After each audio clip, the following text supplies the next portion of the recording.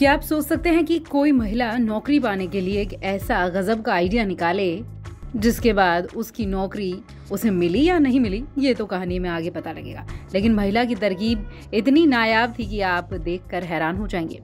आप देख रहे हैं जब गजब मेरे साथ और मैं हूँ मेघा नमस्कार। यूएस की रहने वाली महिला ने नौकरी के लिए एक ऐसी तरकीब निकाली कि लोग हैरत में पड़ गए।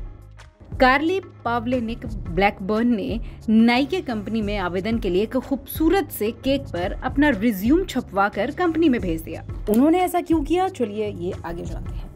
लोग नौकरी पाने के लिए क्या क्या नहीं करते। अलग अलग दफ्तर में अपना बायोडाटा, रिज्यूमे प्रिंट आउट लेकर घूमते रहते हैं। रिसेप्शन पे घंटों इंतज़ार भी करते हैं। कहीं कहीं पर तो रिज्यूम डस्टबिन में पड़ा नज़र आता है और कहीं कहीं पर वो फाइलों के नीचे दबता जाता है।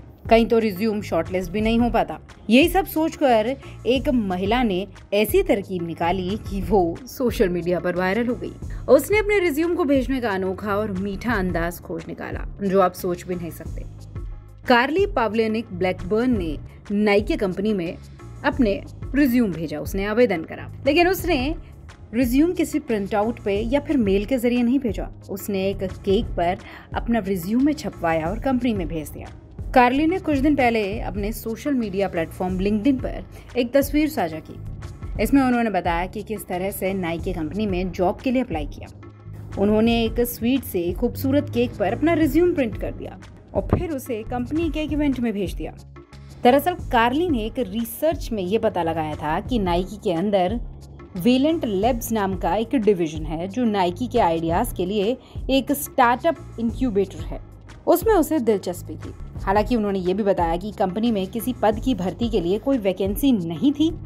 फिर भी अपने बारे में वो उन्हें बता सके, इसलिए ये तरीका अपनाया गया। केक पर छपे रिज्यूमे के आइडिया के पीछे उन्होंने अपने एक पुराने सहयोगी का ज़िक्र किया, जिनसे डिस्कशन के बाद उसके दोस्त ने कहा, तुम कुछ अच्छा और अलग करते हो। तो वैसा ही करो ये जगह क्रिएटिविटी के लिए है तो अपनी क्रिएटिविटी करो।